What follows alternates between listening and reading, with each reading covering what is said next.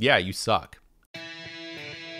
Welcome to Ranger Reviews, a web series we look at episodes of the TV show Power Rangers and then discuss them. Today we're exploring the 26th episode of the show Power Rangers Lost Galaxy, as well as the 319th episode overall, horribly titled Mean Wheels Mantis. We begin this episode in the forest where Leo is walking around, finding Maya up in a tree because of course. She's somehow talking to the wolf Galactabeast. She's like, and then what? And Leo is like, this is amazing. How can you understand them? And Maya jumps down, telling him to just listen with his heart. They speak feelings. Good lord. Then why did you just ask a question like it was going to tell you a story a second ago? This lying girl. Leo tries, but he can't do it. Leo tells him to do it again, and he tries, but it doesn't seem to work.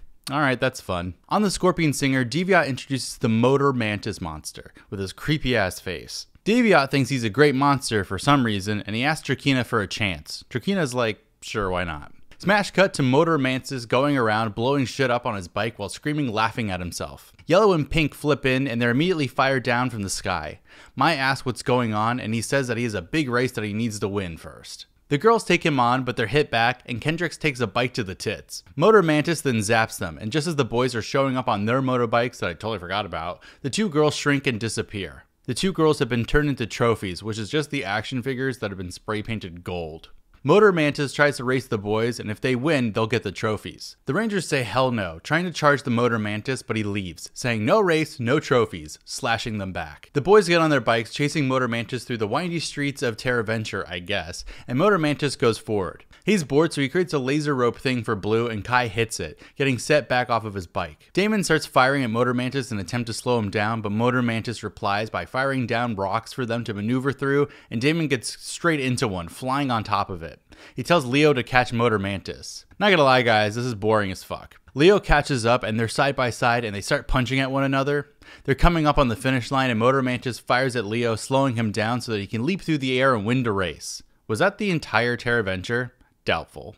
Leo says that wasn't fair, Motor Mantis is kind of like, you suck, bye, and then they disappear. Leo collapses on the ground, feeling like he let everyone down because he couldn't beat Motor Mantis. Anyways, in a shop, Damon and Kai can't get their bikes ready to go, and Leo's bike is the least damaged. Damon hopes that he can get it running in the morning. Leo's really mad, and Kai and Damon try to calm him down about everything, but Leo huffs and puffs, leaving, wanting to go save the girls.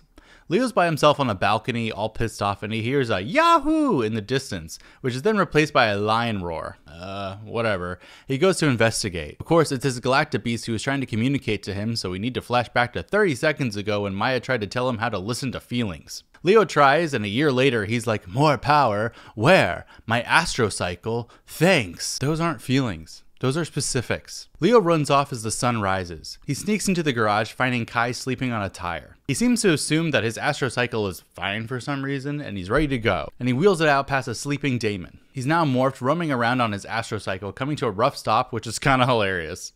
He's calling out to Motor Mantis to come out because he has a challenge for him. Motor Mantis shows up asking what's up. Why should he have to prove himself again? Leo says it's not just the trophies that are at stake this time. He offers up his Quasar Saber for the race too. We see him put the sword up for the winning, as does Motor Mantis with pink and yellow. Motor Mantis then explains the rules of the race like we don't get it. They also have lights counting them down to go. Who built this? It hits green and the two take off in what is sure to be a very exciting race sequence that's not at all repetitive and boring. Oh look, they're going side to side.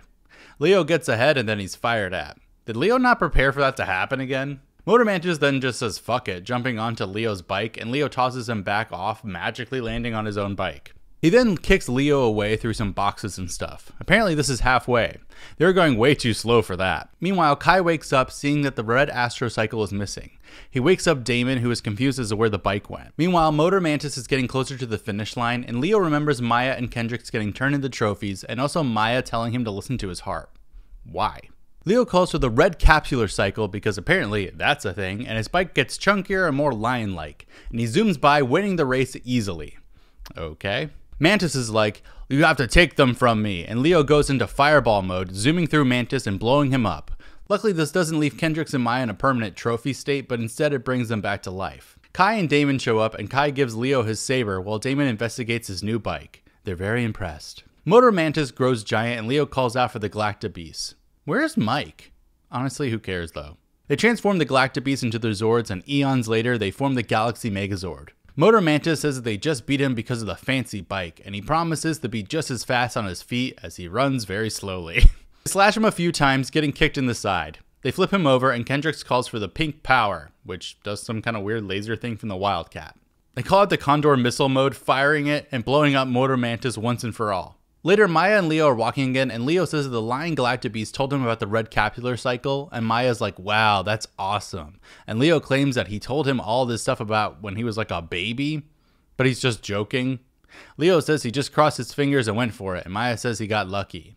They meet up with the others, and Damon, Kai, and Leo are racing each other on mountain bikes. Also, Kendrix is very clearly someone else because we can't see her face. The end. So, yeah, this episode's inoffensive, but it's decently boring. I mean, it's a lot of watching people drive bikes in alleged circles.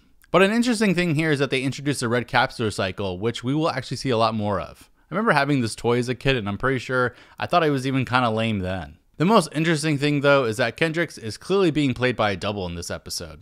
It's actually pretty well done, like way better than Mighty Morphin Season 2 with Jason, Zach, and Trini, but it is happening. We'll get to see why in a few episodes, but just be aware that it's pretty obvious that the Pink Ranger isn't around during these last few episodes.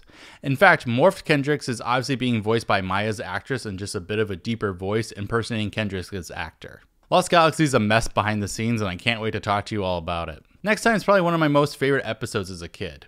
Why? I don't know, I just kind of remember it. But until then, may the power protect you.